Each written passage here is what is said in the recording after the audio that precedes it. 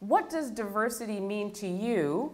And earlier you described How to Get Away with Murder as a diversity oriented program. What does that mean? Um, diversity means to me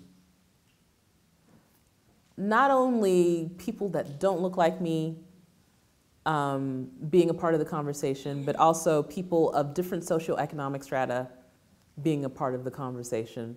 Um, it also means people of uh, who love differently, different people than I love being a part of the conversation. Um, I love being a black woman. Love it. Yay, go black people. Um, black girl magic, hey, hashtags, hashtags. But uh, I understand that uh, in, this, in this country where the binary has been black and white for so long, because of our history with each other, um, it's excluding millions of other people who have just as valid, interesting stories and talents that are being overlooked. And so, as much as I love black people and I love telling the stories of black folk and being involved in things that express stories of black folk, if I were on a show that didn't have people that had a completely different experience than I have had, then it just is not a real diverse experience. And so, you know, I'm not talking parity. I don't, I don't need to see one of each. It's nice to see at least one or two of each in my room, but I'm not saying one of each, but it has to look like a succotash when I walk in there. That's what diversity means to me. It means a succotash. Uh, and succotashes can be tasty. Um, uh, the show is not necessarily a show that is like, it has to be diverse. It is just a show, uh, if you're in law school, these are characters that you're going to come across in a law school.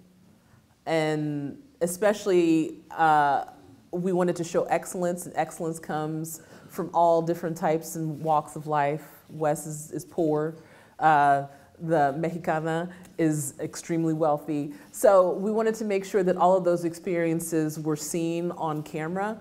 Um, and it's because it was top of mind, I think, in Pete's mind, that there is sort of like an interesting, diverse opinion, diverse perspective on things. And so that is how those characters came about. Um, because, yeah, that's what the world looks like, so why wouldn't we sort of include those characters in a television series? So then, on that note, and I think you know, Shonda Rhimes has been heralded for diversity-oriented program, mm-hmm. but for you, mm-hmm. what does it mean to live and work in Shondaland?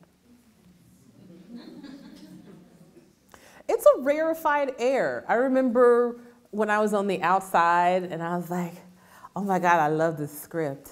This is so cool. I wish I could work there." Um, and then getting in there and realizing that I was in this thing that people have opinions about because you're not inside um, is hard. Like any other place, any place you go as a writer, your job is going to be difficult. Um, so it's no different. It's not like you know there's you know Nivea Nivea lotion to keep you from being ashy or something. It's not like it's a magical place like that where because it's Shondaland, you know, everybody is pretty and there are fashion fair products for people. That's not, that's not what Shondaland is about. Shondaland is just a place where it is. It's because uh, her experience and her view of the world sees what looks like this audience, that's what's going to be reflected on television, not because um, it's uh, magical or because uh, she has a mandate to do it, it's because it is. So don't be stupid. Just make it is.